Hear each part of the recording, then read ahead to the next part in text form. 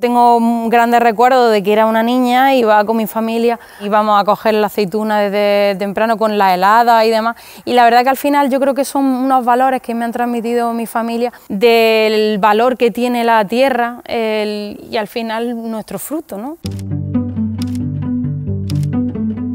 Por eso yo creo que, es importante que se transmita a todas las generaciones presentes y futuras nuevas desde el colegio. Pues la labor tan importante que es no solamente alimentarlos, sino también pues, lo que hay detrás de esto, que son muchas, muchas familias que viven de esto.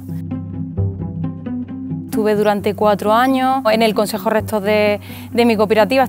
A posteriori después he estado ocho años en la, en la dirección de la cooperativa, Nuestro Señor Remedios de Noguerones.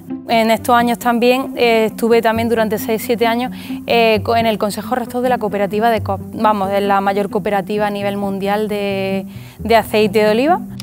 Me he desarrollado en la dirección de cooperativa y bueno, pues actualmente pues soy profesora de instituto, también pues decidí tomar este camino para poder compaginar mejor con mi otra profesión que es la de agricultura.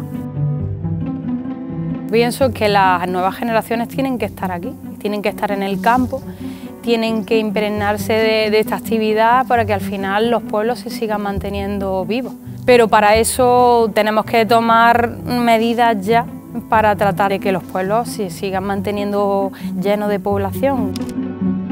Sin la agricultura los pueblos pues se mueren porque no tenemos hoy día la mayor industria de los pueblos precisamente son la, es la cooperativa en la que están ligados toda todo el pueblo.